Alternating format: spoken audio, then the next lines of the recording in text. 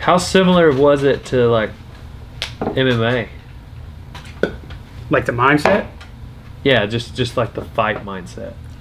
it was it was it was pretty. Um, it's a little bit different because I feel like in MMA with a lot of people, like when I talk to other people, like I don't I don't do it um, competitively anymore. I just train, but when like you talk to other people, their biggest worry is looking like an idiot, and they're worrying about another guy, you know, whooping them. Right. For me, you know, I'm like, dude, I don't have any problem with, with an 1,800 pound bull whooping me because that's what it's supposed to do, Right. You know, so it's a little bit different than that, but um, the mindset leading up to it is, is it's pretty much the same.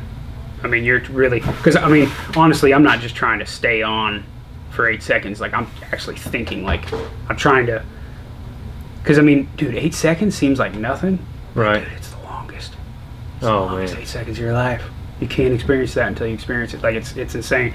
But me, I was like, uh, I was just trying to focus on what uh, what to do next, because there's a lot of it. You ain't just sitting on a bull and you just try to hang on. Like, dude, you got spurs on and you're trying to just hold on for dear life and, and, and move your hips and move your shoulders in the correct position to Yep. to, to do it. It's, it's How different was your your chute procedure thought process from the first one to the second one? Because the first one you don't really know what to think. yeah, the first one I was, I was kind of just like listening to y'all and just like, okay, I remember what you told me about keeping my legs pinched. It's not gonna be that hard. You're just gonna turn out of here. Yeah, and honestly, like when you guys were, you know, you guys put in my head that he's not gonna, he's not gonna go crazy, you know. Right.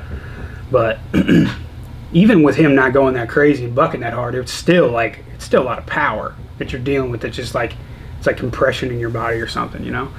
And I, uh, in the second time though, I was like, right whenever I got on him, I was like, I'm ready, like, uh, you know. And we talked about some things that I did wrong with my hand after the fact, which is kind of why I wanted to do it again. I guarantee everybody watching out there, I would do it again. I would know you again. would. Yeah. There's no doubt in my mind.